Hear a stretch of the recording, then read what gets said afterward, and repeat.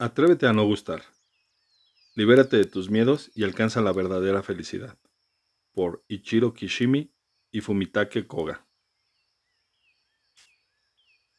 Nota de los autores. Sigmund Freud, Carl Jung y Alfred Adler son tres gigantes de la psicología. Este libro destila las ideas y las enseñanzas filosóficas y psicológicas de Adler y las presenta en forma de diálogo narrativo entre un filósofo y un joven. La psicología adleriana cuenta con un amplio apoyo tanto en Europa como en Estados Unidos y ofrece respuestas sencillas y directas a la pregunta filosófica de ¿cómo puedo ser feliz? Es muy posible que la psicología adleriana tenga la clave para ello, así que leer este libro podría transformar tu vida. Acompañemos ahora al joven aprendiz y aventurémonos a cruzar la puerta. Introducción. En las afueras de una ciudad milenaria vivió un filósofo que enseñaba que el mundo era un lugar sencillo y que la felicidad estaba al alcance inmediato de todo el mundo. Así, un joven que estaba insatisfecho con su vida decidió visitarlo para llegar al fondo de la cuestión. Creía que el mundo era una caótica masa de contradicciones y angustiado, la mera idea de la felicidad le resultaba completamente absurda. Te lo preguntaré de nuevo. ¿Crees que el mundo es un lugar sencillo en todos los aspectos? Sí, el mundo es un lugar asombrosamente sencillo y la vida también. ¿Y esto es una argumentación idealista o una teoría práctica? Dicho de otro modo, ¿afirmas que todos los problemas a los que nos enfrentamos tú, yo o cualquiera a lo largo de la vida son también sencillos? Por supuesto que sí. De acuerdo, entonces, permíteme que te explique por qué he venido a visitarte hoy. En primer lugar, quiero hablar contigo de esto hasta que me dé por satisfecho. Y luego, si es posible, quiero que te retractes de esta teoría. He oído hablar de ti y conozco tu reputación. Se dice que aquí vive un filósofo excéntrico cuyas enseñanzas y sentencias cuesta mucho pasar por alto. Afirmas que las personas pueden cambiar, que el mundo es sencillo y que todos podemos ser felices. Eso es lo que he oído. Sin embargo, me parece una postura totalmente inaceptable así que quería confirmarlo personalmente. Si me parece que te equivocas en algo de lo que dices, te lo señalaré y te corregiré. ¿O crees que te molestará? No, en absoluto. Agradezco la oportunidad que me brindas. Hace mucho tiempo que tengo ganas de hablar con alguien tan joven como tú y aprender tanto como sea posible de lo que puedas decirme. Gracias. No crees que pretendo rechazar tu postura sin más. Reflexionaré sobre ella y entonces estudiaré las posibilidades a medida que se presenten. El mundo es sencillo y la vida también. Si esa tesis contiene algo de verdad, tiene que tratarse de una vida vista a través de los ojos de un niño. Los niños carecen de obligaciones evidentes, como pagar impuestos o ir a trabajar. Sus padres y la sociedad los protegen, y pueden pasarse los días sin preocuparse lo más mínimo. Pueden imaginar un futuro que se extienda para siempre y hacer lo que quieran no ven la triste realidad, tienen los ojos vendados. Para ellos el mundo ha de ser sencillo. Sin embargo, cuando los niños maduran y se convierten en adultos, el mundo revela su verdadera naturaleza. No tardarán en saber cómo son en realidad las cosas y en ver lo que les está permitido hacer y lo que no. Así que su opinión cambiaría, y no verán más que imposibilidad. La imagen romántica desaparecerá y se verá sustituida por un realismo cruel. Ya veo. Lo que dices es muy interesante. Pues aún no he terminado. Cuando crezcan, se verán enredados en todo tipo de relaciones complicadas con distintas personas que les impondrán todo tipo de responsabilidades. Y así será la vida para ellos, ya sea en el trabajo, en casa o en cualquier función que asuman en la vida pública. Huelga decir que, al mismo tiempo, se darán cuenta de múltiples problemas sociales que no entendían de niños, como la discriminación, la guerra o la desigualdad y no podrán hacer como si no existieran. ¿Me equivoco? No, me parece que vas bien. Continúa. Bueno, si viviéramos en una época en que la religión siguiera siendo importante, aún cabría pensar en la salvación, porque las enseñanzas de lo divino sería la verdad del hombre y del mundo, y lo serían todo para nosotros. Lo único que tendremos que hacer es vivir obedeciendo esas enseñanzas, y por lo tanto tampoco tendríamos que pensar mucho. Sin embargo, la religión ha perdido su poder y ahora no creemos verdaderamente en Dios. Al carecer de un puntual, vivimos azotados por la inquietud y la duda. No pensamos más que en nosotros mismos. Esta es la sociedad en que vivimos hoy. Así que dime, después de todo lo que he dicho, y dado que estamos controlados por estas realidades, ¿cómo puedes mantener que el mundo es un lugar sencillo? Sigo manteniéndolo. El mundo es un lugar sencillo y la vida también es sencilla. ¿Cómo es posible? Cualquiera puede ver que es una masa caótica de contradicciones. No es que el mundo sea complicado. Lo que sucede es que tú lo estás haciendo complicado. ¿Yo? Nadie vive en un mundo objetivo. Todos vivimos en un mundo subjetivo al que nosotros mismos hemos dado sentido. El mundo que tú ves es distinto al que yo veo, y es imposible que puedas compartirlo con nadie. ¿Cómo puede ser eso? Tú y yo vivimos en el mismo país y en la misma época, y vemos las mismas cosas, ¿no? Sí, me pareces bastante joven, pero ¿has bebido alguna vez agua de pozo recién extraída? ¿Agua de pozo? Mm, bueno, Hace ya mucho tiempo de eso, pero en la casa de mi abuela, en el campo, había un pozo. Recuerdo que disfrutaba del agua fresca que sacábamos en los calurosos días de verano. Quizá ya lo sepas. Pero el agua de pozo se mantiene a prácticamente la misma temperatura durante todo el año, a unos 18 grados. Se trata de un número objetivo, y es el mismo mida quien mida la temperatura del agua.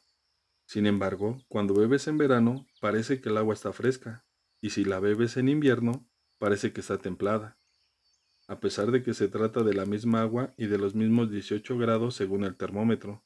Te parece una cosa o la otra dependiendo de si es verano o invierno. ¿Así que es una ilusión debido al cambio en el ambiente? No, no es una ilusión. Para ti, en este momento, que el agua del pozo esté fresca o templada es un hecho irrefutable. Eso es lo que significa vivir en un mundo subjetivo. La subjetividad de cómo vemos lo es todo, y es imposible escapar de la propia subjetividad. Ahora, el mundo te parece un caos complicado y misterioso, pero si cambias, el mundo te parecerá un lugar sencillo. Lo que importa no es cómo es el mundo, sino cómo eres tú. ¿Cómo soy yo? Sí. Si miras el mundo a través de un cristal oscuro, es natural que todo te parezca oscuro. Sin embargo, en esa situación, en lugar de lamentarte por la oscuridad del mundo, podrías quitarte las gafas. Es posible que, de repente, el mundo te pareciera excesivamente luminoso y cerraras los ojos involuntariamente. Quizá incluso quisieras volverte a poner las gafas. De todos modos, la verdadera pregunta es la siguiente. ¿Puedes quitarte las gafas? ¿Puedes mirar el mundo directamente? ¿Tienes el valor necesario para ello? ¿Valor? Sí, es una cuestión de valor. Mm, de acuerdo. Se me ocurren un millón de objeciones a lo que acabas de decir, pero creo que será mejor abordarlas más adelante. Ahora, me gustaría confirmar lo que dices de que las personas pueden cambiar. ¿Es así? Si puedo cambiar, el mundo cambiará también y recuperará su sencillez. ¿Es eso? Claro que las personas pueden cambiar y además pueden encontrar la felicidad ahora mismo. Todos, sin excepciones, sin ninguna excepción y a partir de ahora mismo. no te andas con chiquitas. Esto se pone interesante. Voy a empezar a rebatirte inmediatamente. No tengo intención de huir ni de ocultarte nada. Reflexionemos detenidamente sobre todo esto. Si te he entendido bien, tú partes de la postura de que las personas no pueden cambiar. No, no pueden cambiar. De hecho, yo mismo sufro por mi incapacidad para cambiar pero al mismo tiempo desearías poder hacerlo. Claro, si pudiera cambiar, volvería a empezar de nuevo, me arrodillaría ante ti sin reservas. Sin embargo, es muy posible que seas tú quien acabe arrodillado ante mí. Muy bien, creo que esto va a ser muy interesante. Me recuerdas a mí mismo cuando era un joven estudiante que buscaba apasionadamente la verdad y recorría la ciudad en busca de filósofos con los que hablar. Sí, busco la verdad, la verdad acerca de la vida. Nunca he tenido la necesidad de tener discípulos y hasta ahora no he tenido ninguno. Sin embargo, creo que desde que empecé a estudiar la filosofía griega clásica, y aún más desde que conocí otra filosofía, en realidad he estado esperando la visita de un joven como tú. ¿Otra filosofía? ¿De qué me hablas? Mira, esa es la puerta de mi estudio. Entra. Va a ser una noche larga. así que voy a preparar un buen café. La primera noche. El trauma no existe. El joven entró en el estudio y se desplomó sobre una silla. ¿Por qué estaba tan decidido a rechazar las teorías del filósofo? Le sobraban razones evidentes para ello. Carecía de seguridad en sí mismo y ya desde su infancia una profunda sensación de inferioridad respecto a su nivel académico y su aspecto físico no había hecho más que agravar la situación. Es posible que, en consecuencia, tendiera a preocuparse demasiado cuando la gente lo miraba. Sobre todo, parecía incapaz de alegrarse de la felicidad de los demás, y se compadecía de sí mismo constantemente. Las afirmaciones del filósofo le parecían meras fantasías. El tercer gigante desconocido. Hace un momento has hablado de otra filosofía, pero tenía entendido que tu especialidad era la filosofía griega clásica. Sí, la filosofía clásica ha sido clave en mi vida desde que era adolescente. Las grandes figuras intelectuales, Sócrates, Platón, Aristóteles. Ahora estoy traduciendo una obra de Platón y espero dedicar el resto de mi vida al estudio del pensamiento griego clásico. Vale, entonces, ¿qué es esa otra filosofía? Es una nueva escuela de psicología que el psiquiatra austriaco Alfred Adler desarrolló a principios del siglo XX. En su país suelen llamarla psicología adleriana. Vaya, jamás hubiera pensado que un especialista en filosofía clásica pudiera interesarse por la psicología. La verdad es que no sé demasiado acerca de otras orientaciones psicológicas. Sin embargo, creo que la psicología adleriana está claramente alineada con la filosofía clásica y que es un ámbito de estudio de pleno derecho. Conozco por encima la psicología freudiana y juanguiana. Es un campo fascinante. Efectivamente, Freud y Jung son muy conocidos incluso aquí. Adler fue uno de los miembros fundadores de la Sociedad Psicoanalítica de Viena, dirigida por Freud. Sin embargo, sus ideas contravenían las de Freud, así que abandonó el grupo y propuso una psicología individual basada en sus propias teorías. Psicología individual, otra palabra extraña. Entonces, Adler fue discípulo de Freud, ¿no?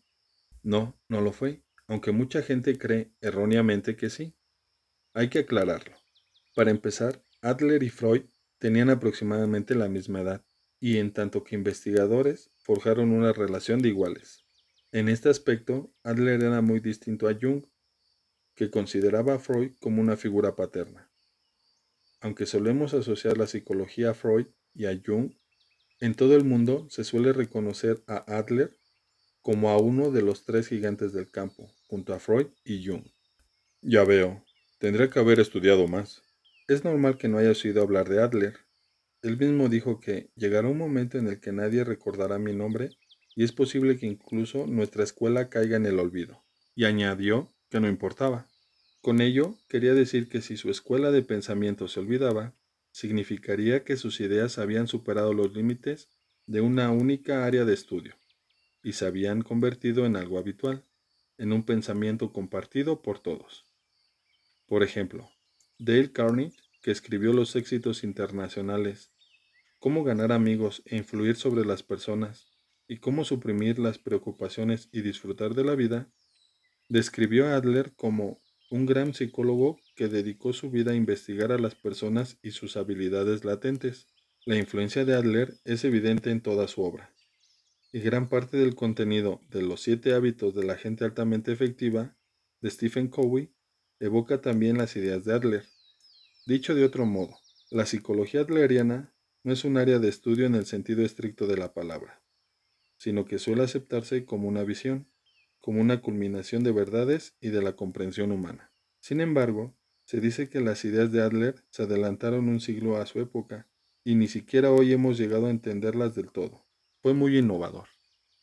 Entonces, no has desarrollado tus teorías a partir de la filosofía clásica, sino desde la perspectiva de la psicología adleriana. Así es. Muy bien, quisiera preguntarte una cosa más acerca de tu postura básica. ¿Eres filósofo o psicólogo? Soy filósofo, una persona que vive la filosofía.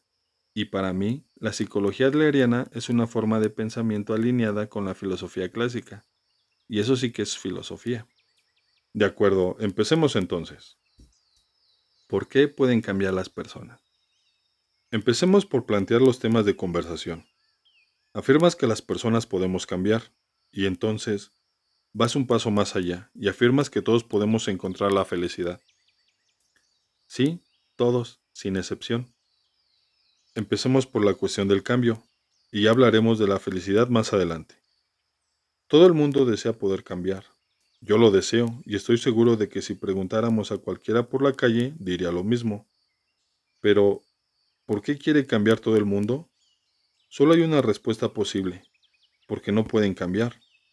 Si cambiar fuera fácil, no pasaríamos tanto tiempo deseando poder hacerlo. Por mucho que lo deseen, las personas no pueden cambiar. Y por eso siempre hay tanta gente dispuesta a adoptar religiones nuevas, a asistir a dudosos seminarios de autoayuda y a escuchar a cualquiera que predique que todos podemos cambiar. ¿Acaso me equivoco?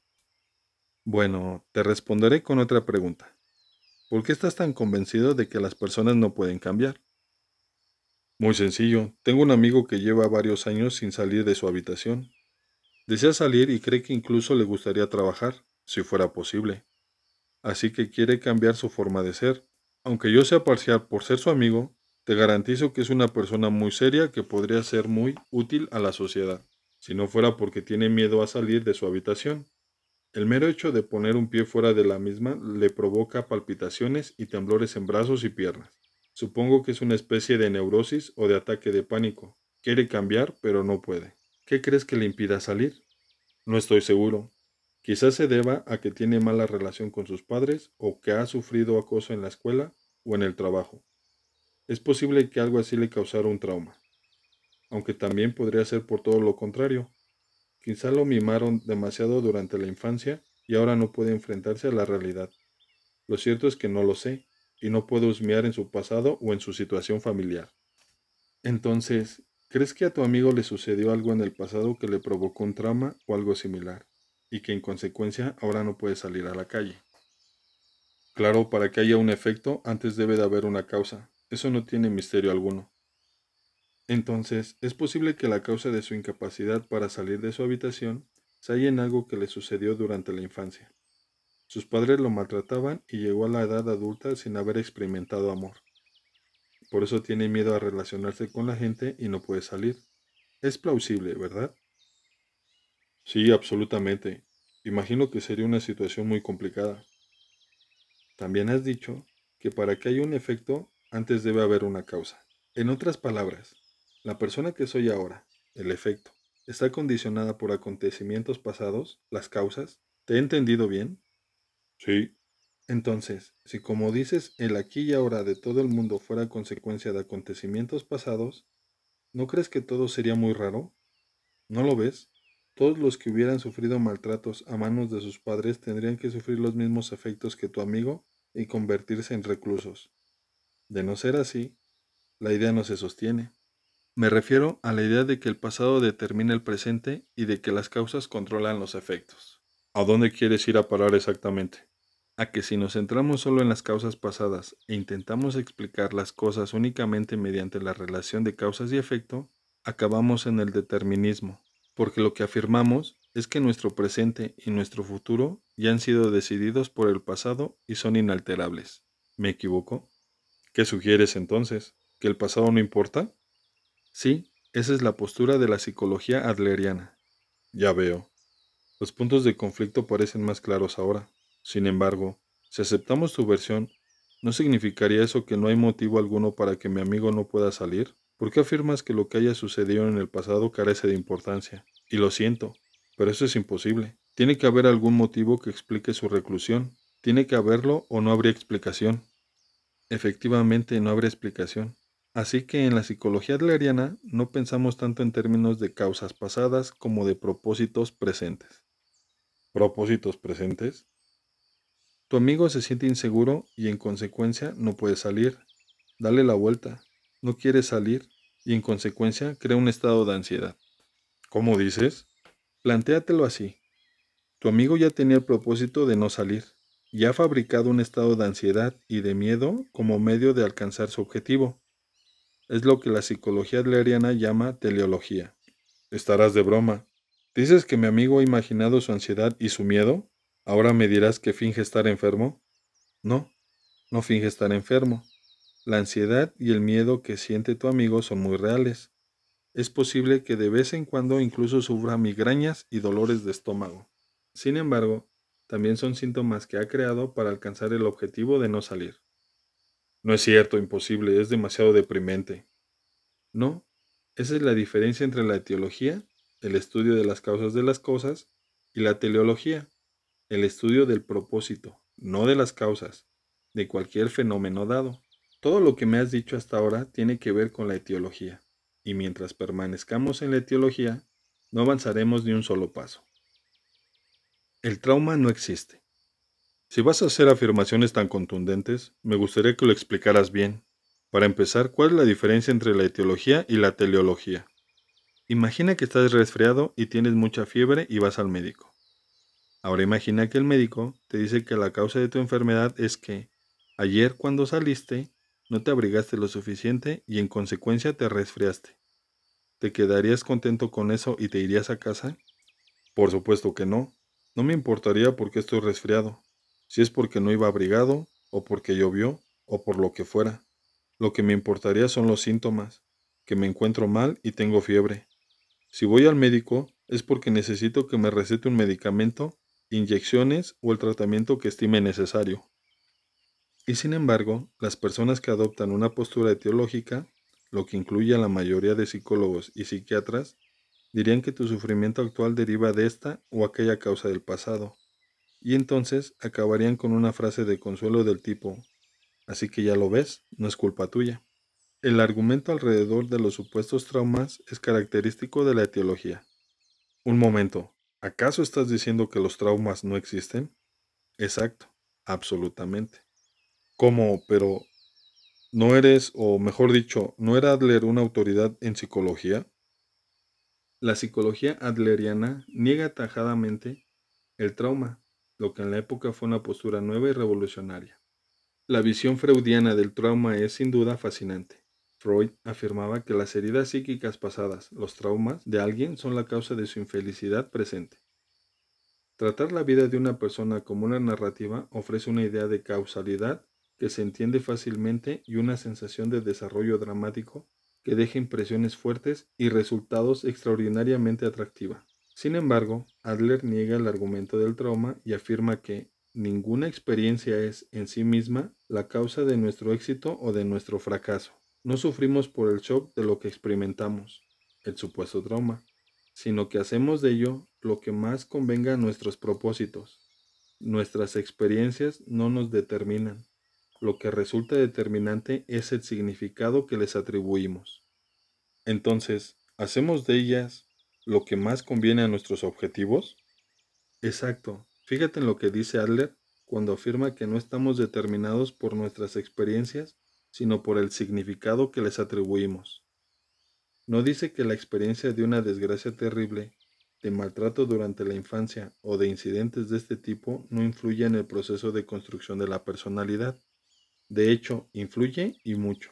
Sin embargo, lo importante es que esas experiencias no son determinantes. Somos nosotros quienes determinamos nuestras vidas en función del significado que atribuyamos a esas experiencias del pasado. La vida no es algo que alguien nos da, sino algo que elegimos nosotros mismos. Y también somos nosotros quienes decidimos cómo vivirla. Muy bien, entonces, lo que dices es que mi amigo se ha encerrado en su habitación porque ha elegido vivir así. Esto es muy serio, créeme, no es lo que quiere. Como mucho, diría que es algo que se ha visto obligado a elegir debido a las circunstancias. No ha tenido otra opción que convertirse en quien es ahora. No, incluso si tu amigo piensa de verdad que, no tengo un lugar en esta sociedad porque mis padres me maltrataron, es porque su propósito es pensar así. ¿Qué tipo de propósito es ese? Probablemente el más inmediato sea el de no salir, y crea la ansiedad y el miedo como los motivos que lo llevan a quedarse en casa. Pero, ¿por qué no quiere salir? Ahí radica el problema. Bueno, ponte en el lugar de los padres. ¿Cómo te sentirías si tu hijo no quisiera salir de su habitación? Evidentemente me preocuparía. Querría ayudarlo a volver a la sociedad. Querría que estuviera bien y me preguntaría si me equivoqué en algo al criarlo. Estoy seguro de que estaría muy preocupado y de que haría todo lo que estuviera en mi mano para ayudarlo a recuperar una existencia normal. Ahí radica el problema. ¿Dónde? Si me quedo siempre en mi habitación, mis padres se preocuparán y conseguiré que me dediquen toda su atención. Serán muy cuidadosos en todo lo que me concierna y me tratarán con guantes de seda. Por el contrario, si doy un solo paso fuera de casa, me convertiré en una parte de esa masa sin rostro a la que nadie presta atención. Estaré rodeado de gente a la que no conozco y acabaré formando parte de la mediocridad, o ni siquiera eso. Y ya nadie me tratará de manera especial. Este tipo de historias son habituales en personas que se recluyen en casa. En este caso, y si sigo tu línea de razonamiento, mi amigo ha cumplido su propósito y está satisfecho con su situación actual. ¿Es eso? Dudo que esté satisfecho y estoy seguro de que tampoco es feliz. Sin embargo, no cabe duda de que está realizando acciones alineadas con su propósito. No es algo exclusivo de tu amigo. Todos vivimos alineados con algún propósito. Eso es lo que nos dice la teleología. Ni hablar, lo rechazo. Es totalmente inaceptable. Mira, mi amigo es... Escucha. Esta discusión no va a llegar a ningún sitio si seguimos hablando de tu amigo. Se convertirá en un juicio in absentia, y eso no sirve de nada. Usemos otro ejemplo. Como quieras, a ver qué te parece este. Es mi propia historia acerca de algo que sucedió ayer. Soy todo oídos. La ira es un medio para conseguir un fin. Ayer por la tarde estaba leyendo un libro en una cafetería y un camarero me derramó café en la chaqueta al pasar a mi lado. Acababa de estrenar y era mi prenda de ropa preferida. No pude evitarlo. Perdí los nervios y le grité a todo pulmón. No soy el tipo de persona que suele alzar la voz en lugares públicos, pero ayer toda la cafetería se enteró de mis gritos, porque me encendí de rabia y no sabía lo que hacía. ¿Qué me dices de eso? ¿Qué propósito puede haber aquí? Lo mires como lo mires, ¿no te parece una conducta consecuente de una causa? Así que recibiste el estímulo de la emoción, de la ira y acabaste gritando. Aunque normalmente eres una persona tranquila, no pudiste evitar enfadarte. Fue algo inevitable y no pudiste hacer nada al respecto. ¿Eso es lo que dices? Sí, porque todo fue muy rápido. Las palabras ya habían salido de mi boca antes de que hubiera podido pensarlo. Ahora imagina que ayer hubieras llevado un cuchillo encima y que al perder los nervios hubieras acabado apuñalado al camarero. ¿También lo justificarías diciendo que fue algo inevitable y no pude hacer nada al respecto? Vamos, eso es llevar el argumento al extremo. No, no es llevarlo al extremo. Si seguimos tu razonamiento, cualquier delito cometido en un estado de ira podría atribuirse a la ira y la persona que lo comete no sería responsable, porque según acabas de decir, las personas no pueden controlar sus emociones. Bueno, entonces, ¿cómo explicarías tú mi ira? Muy fácil. ¿No te encendiste de ira y entonces empezaste a gritar? Te enfadaste para poder gritar. Es decir, para poder cumplir el propósito de gritar, creaste la emoción de la ira. ¿Qué quieres decir? El propósito de gritar fue anterior a todo lo demás. Es decir, con los gritos querías que el camarero se mostrara sumiso y escuchara lo que querías decir, y para ello generaste la emoción de la ira. ¿Que yo la generé? ¿Estás de broma? Entonces, ¿por qué alzaste la voz? Tal y como te he dicho antes, perdí los papeles, me sentía muy frustrado. No, podrías haberle explicado lo que sucedía sin levantar la voz, y es muy probable que se hubiera disculpado sinceramente. Te hubiera limpiado la chaqueta con un paño y luego hubiera tomado cualquier otra medida necesaria. Es posible que incluso te hubiera pagado la tintorería, y en algún lugar de tu mente sabías que era posible que hiciera todo eso pero aún así gritaste. El procedimiento de explicar las cosas con normalidad te pareció demasiado esfuerzo, así que intentaste evitarlo y hacer que esa persona ya sumisa se sometiera a ti, y la ira fue la herramienta que usaste. Ni hablar, no me líes. ¿Yo mismo generé la ira para someter al camarero? Puedo asegurarte que no tuve ni un segundo para pensar en todo eso. No me paré a pensarlo y decidí enfadarme. La ira es una emoción impulsiva. En eso tienes razón. La ira es una emoción instantánea.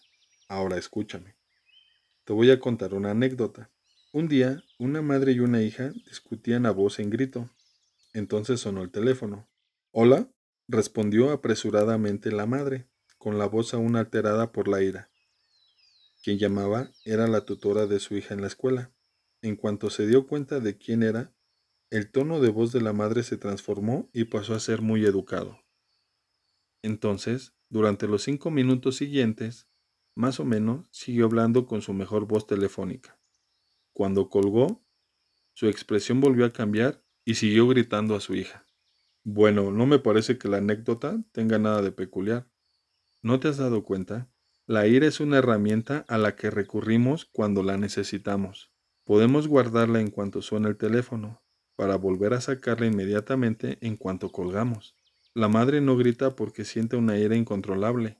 Sencillamente, usa la ira para imponerse a su hija con los gritos y reafirmar sus opiniones. Entonces, ¿la ira es un medio para conseguir un fin? Eso es lo que dice la teleología. Ah, ahora lo veo claro. Bajo esa máscara de amabilidad que llevas, eres terriblemente nihilista. Tanto si hablamos de la ira como de mi amigo el recluso, todas tus aportaciones están cargadas de desconfianza hacia el ser humano. ¿Cómo vivir sin que el pasado nos controle? ¿Por qué piensas que soy nihilista? Piénsalo. Para no alargarme, niegas la emoción humana. Dices que las emociones son meras herramientas y que no son más que un medio para alcanzar un fin. Pero escucha, si niegas la emoción, defiendes una postura que niega también nuestra humanidad, porque lo que nos hace humanos son nuestras emociones y la influencia que ejercen en nosotros. Si negamos las emociones, las personas somos poco más que máquinas. Y si eso no es nihilismo, ya me dirás qué es. No niego que existan las emociones. Todos sentimos emociones, es indiscutible. Sin embargo, si lo que intentas decirme es que el ser humano es incapaz de resistirse a la emoción, lo negaré rotundamente. La psicología adleriana es una forma de pensamiento y una filosofía diametralmente opuesta al nihilismo. No estamos controlados por las emociones. En este sentido, además de demostrar que no estamos controlados por la emoción, la psicología adleriana demuestra también que no estamos controlados por el pasado.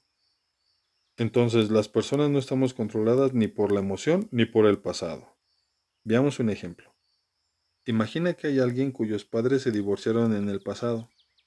Esto es un hecho objetivo, del mismo modo que el agua del pozo está siempre a 18 grados. Sin embargo, ese divorcio da sensación de frío o de calor. Esto es una cosa de la hora, algo subjetivo. Al margen de lo que sucediera en el pasado, lo que determina el presente de esa persona es el significado que le haya atribuido. Entonces la pregunta no es ¿qué sucedió? Sino ¿cómo se resolvió? Exacto. No tenemos una máquina del tiempo que nos permita viajar al pasado. No podemos hacer que las manecillas del reloj retrocedan. Si permanecemos en etiología, quedamos atrapados en el pasado y jamás podremos encontrar la felicidad.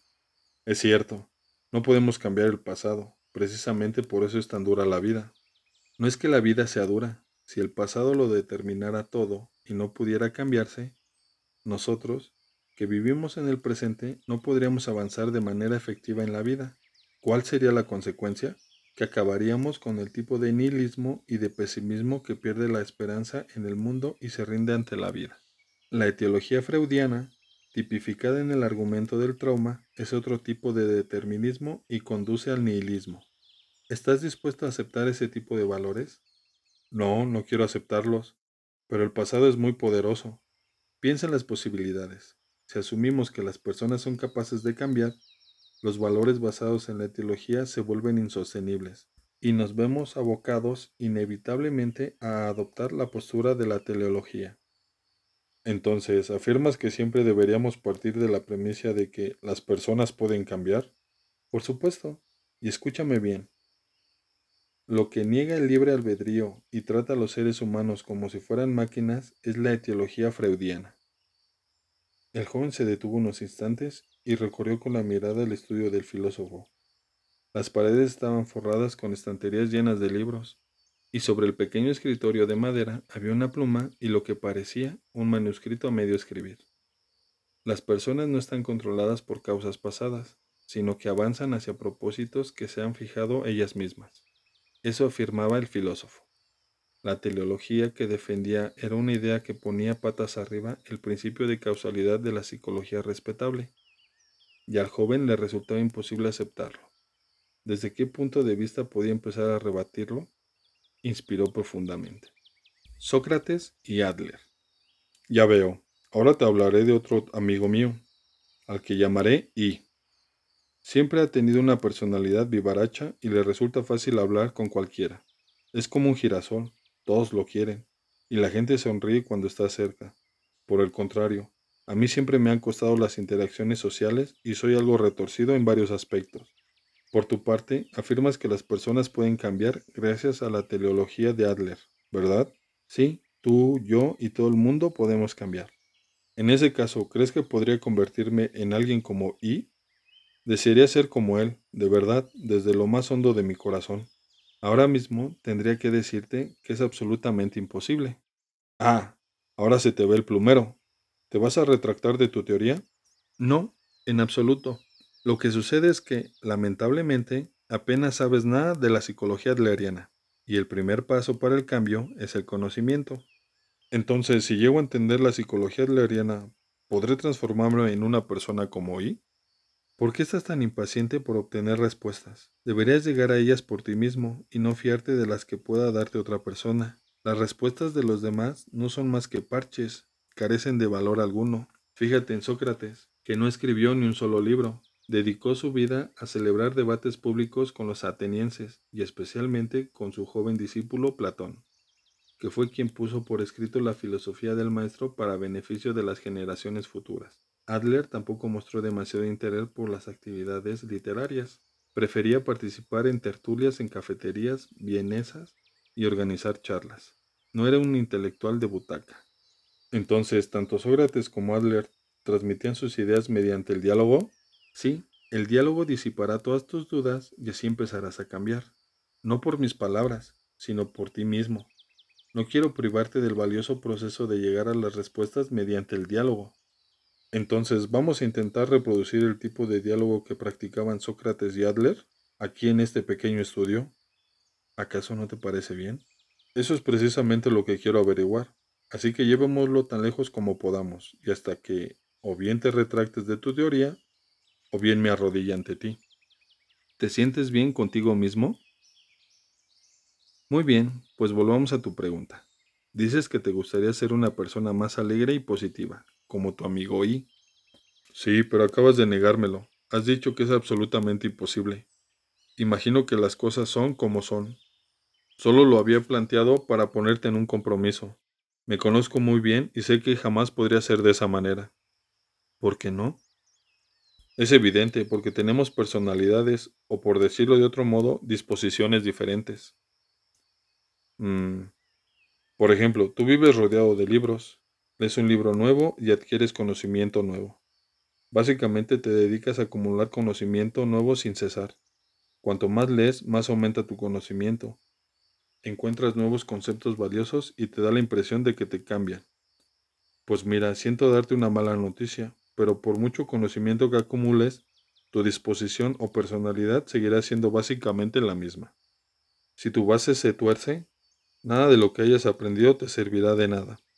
Si todo el conocimiento que has acumulado se desplomara a tu alrededor, y en un abrir y cerrar de ojos te encontrarás de nuevo en el punto de partida. Y lo mismo pasa con las ideas de Adler. Por mucha información acerca de él que intenta acumular, no afectará en nada a mi personalidad.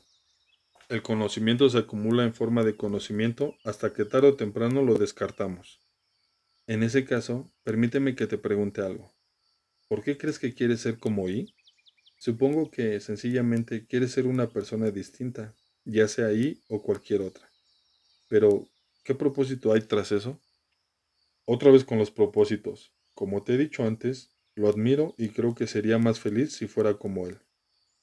¿Crees que serías más feliz si fueras como él? Lo que significa que ahora mismo no eres feliz, ¿no? ¿Qué? Ahora mismo no puedes ser feliz de verdad, y eso te pasa porque no has aprendido a quererte y para intentar quererte, desearías renacer como una persona distinta.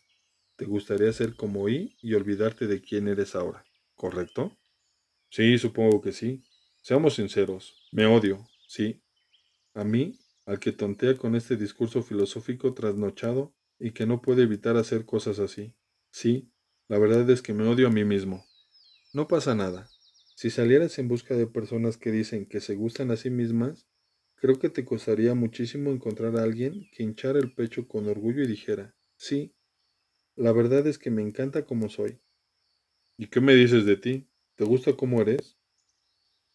Creo que, como mínimo, no querría ser otra persona y me acepto tal y como soy. ¿Te aceptas tal y como eres? Mira, por mucho que quieras ser y, no puedes renacer y ser él. No eres y. Y está bien que tú seas tú. Sin embargo, no estoy diciendo que esté bien que seas tal y como eres. Si no puedes ser feliz de verdad, es evidente que las cosas no te van bien tal y como están ahora.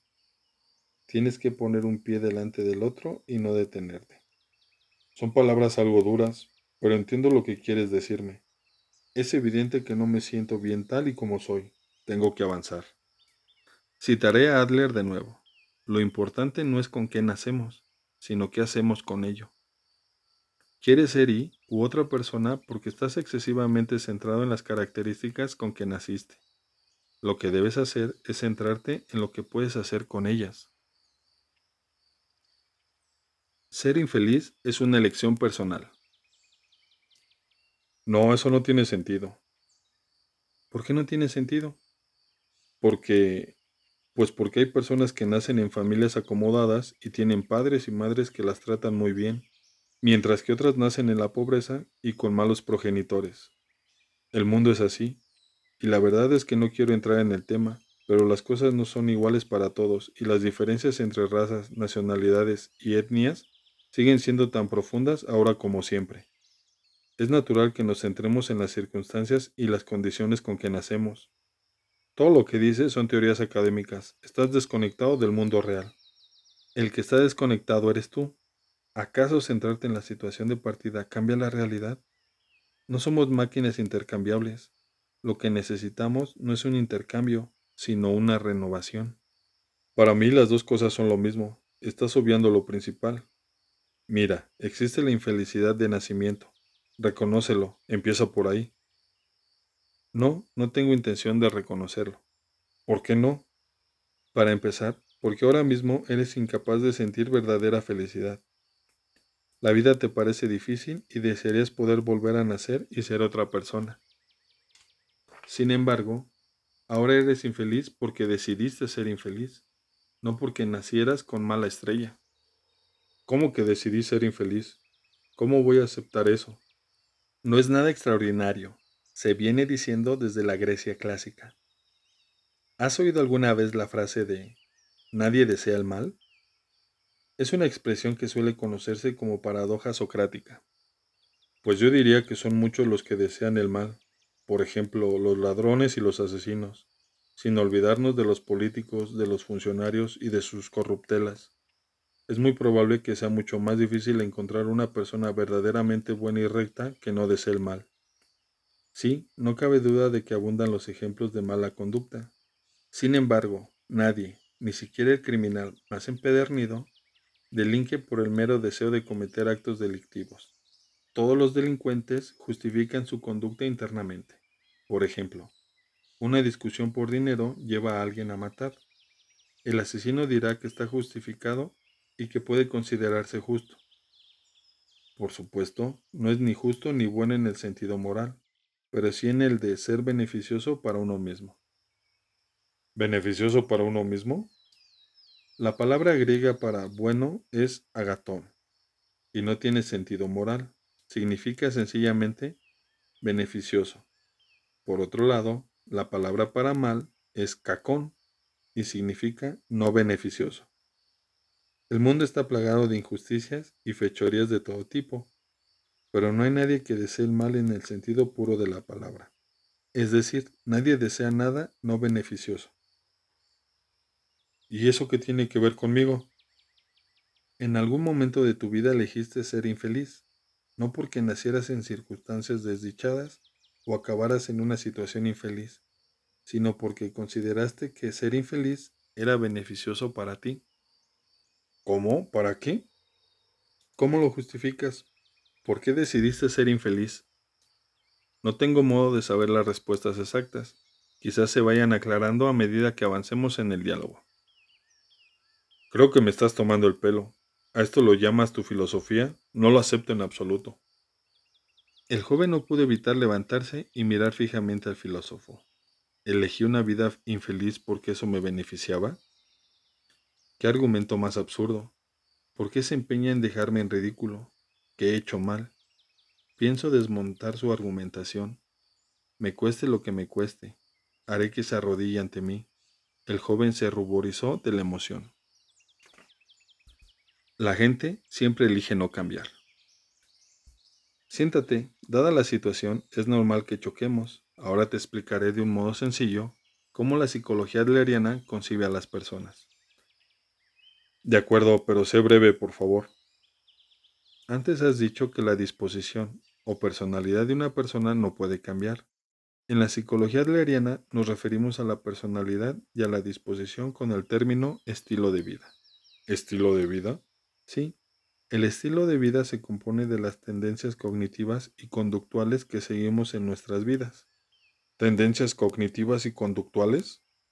La forma en que vemos el mundo y cómo nos vemos a nosotros mismos.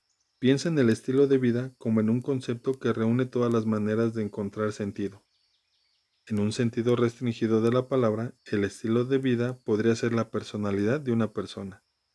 En un sentido más amplio, abarca la visión del mundo y la actitud hacia la vida. ¿La visión del mundo?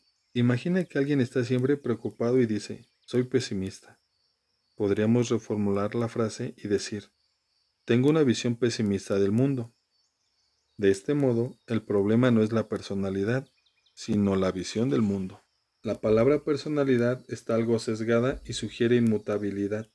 Sin embargo, si hablamos de la visión del mundo, deberíamos poder cambiarla.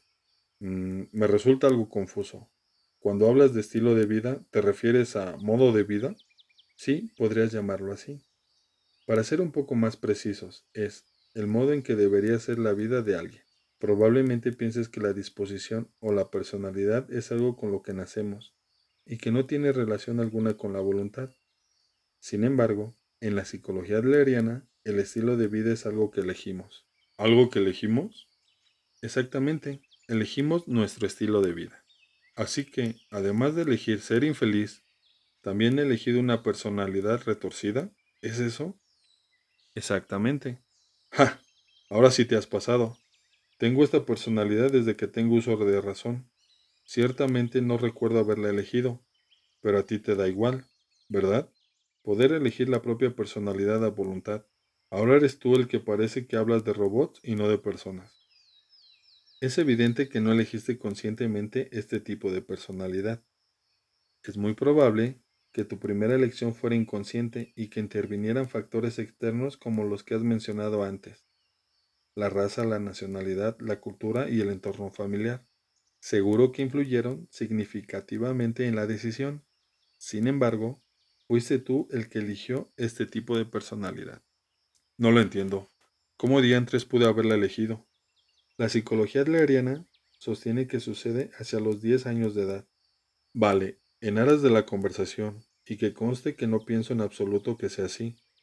Digamos que cuando tenía 10 años decidí inconscientemente adoptar este estilo de vida, o como quieras llamarlo.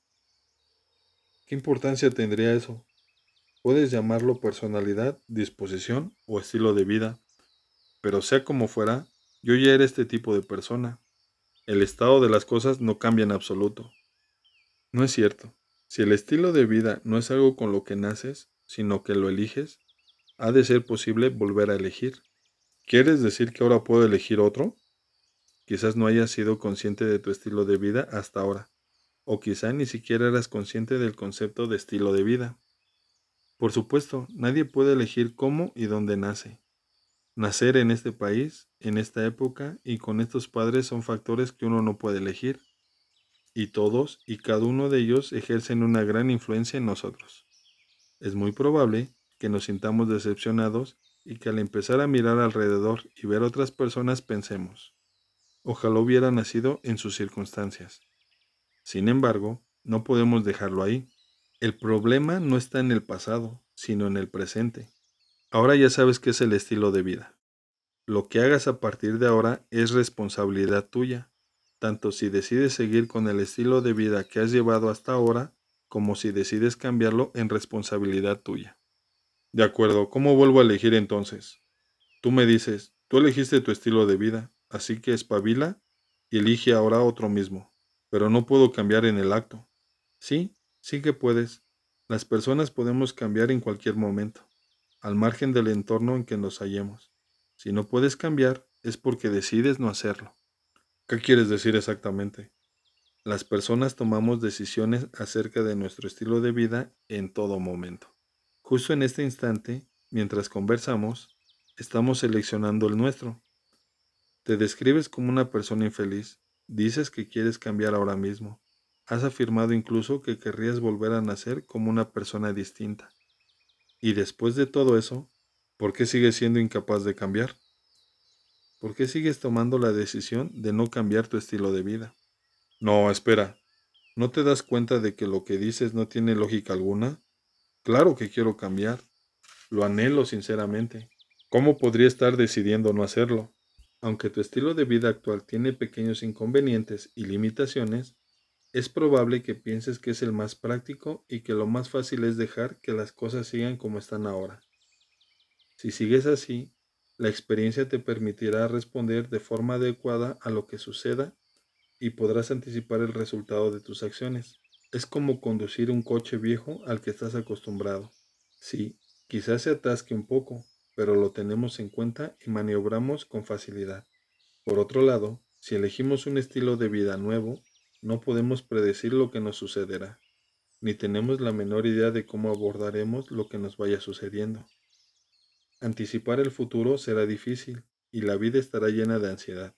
Quizá nos aguarde una vida más dolorosa e infeliz. En pocas palabras, aunque la gente suele quejarse de muchas cosas, lo más fácil y seguro es seguir como se está. Entonces lo que sucede es que queremos cambiar, pero el cambio nos da miedo. Intentar cambiar el estilo de vida supone un gran ejercicio de valentía. Por un lado tenemos la ansiedad que genera el cambio, y por el otro la decepción que supone el no cambiar. Y estoy seguro de que has elegido lo segundo. Espera, ¿acabas de hablar de valentía? Sí. La psicología adleriana aboga por la valentía, por el valor. No puedes culpar al pasado o al entorno de tu infelicidad. No es que te falte capacidad, sino que te falta valor. Podríamos decir que te falta el valor necesario para ser feliz. Tu vida se decide aquí y ahora. Así que me falta el valor necesario para ser feliz. ¿Quieres que te lo explique otra vez? No, un momento. Esto se está complicando. Primero me dices que el mundo es un lugar sencillo, que soy yo el que hace que parezca complicado y que mi visión subjetiva es la que hace que sea así. Y además, mi vida parece complicada solo porque yo la complico, y por eso me cuesta ser feliz. Luego dices que deberíamos adoptar una postura teleológica en lugar de la etiología freudiana, que no debemos buscar causas en el pasado y que deberíamos negar el trauma. Dices que las personas actuamos para cumplir un propósito u otro, y que no somos criaturas motivadas por causas pasadas. ¿Voy bien? Sí. Y además dices que una de las principales premisas de la teleología es que las personas pueden cambiar, que las personas siempre eligen su estilo de vida. Sí, correcto. Por lo tanto, no puedo cambiar porque tomo una y otra vez la decisión de no cambiar. No tengo el valor necesario para elegir otro estilo de vida. O dicho de otra manera, no tengo el valor necesario para ser feliz y por eso soy infeliz. ¿Lo he entendido bien? Sí, perfectamente.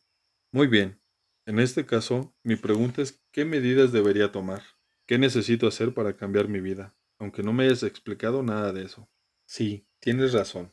Lo que deberías hacer ahora es tomar la decisión de cambiar tu estilo de vida actual. Por ejemplo, antes has dicho, si pudiera ser como I, sería feliz.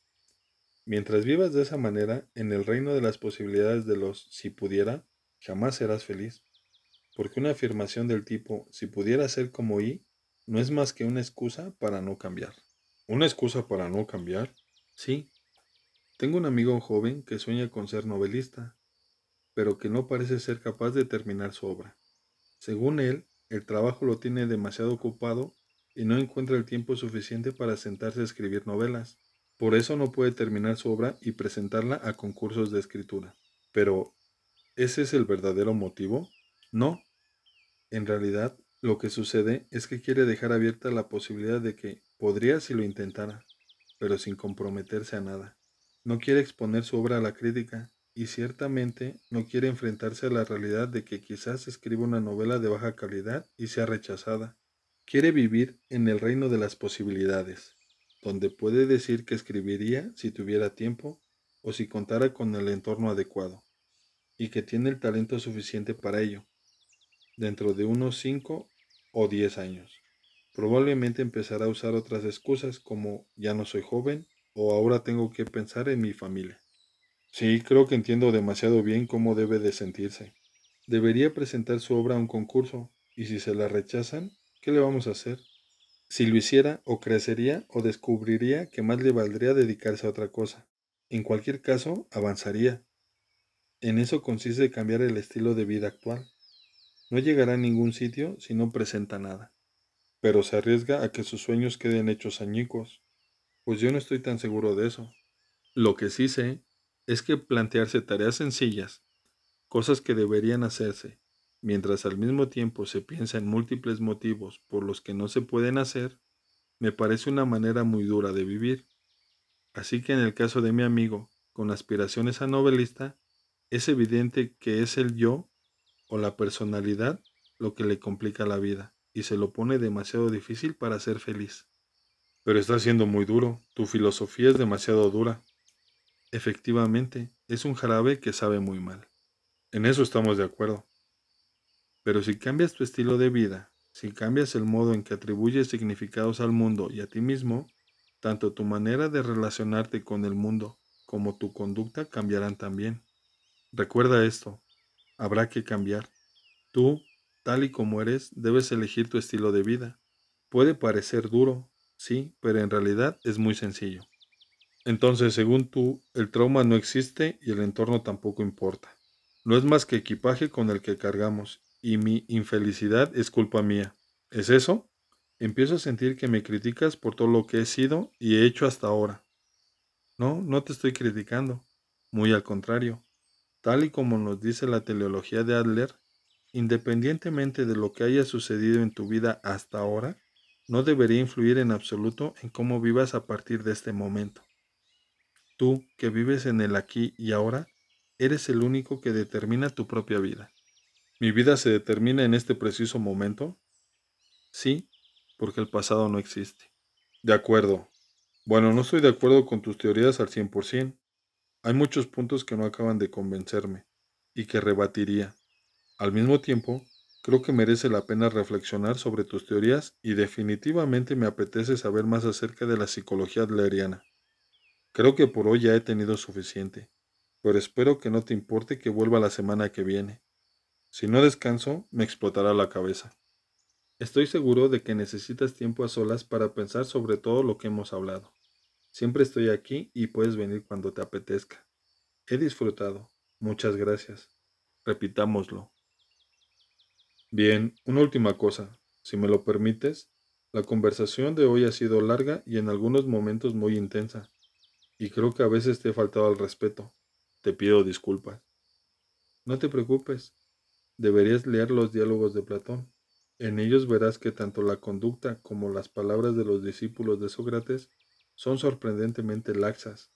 Así es como se supone que ha de ser un diálogo. O sea, ¿cómo? si te gustó, dale like y comenta. Y si no, pues comenta y también dale like. Próximamente, la segunda noche. Todos los problemas tienen que ver con las relaciones interpersonales.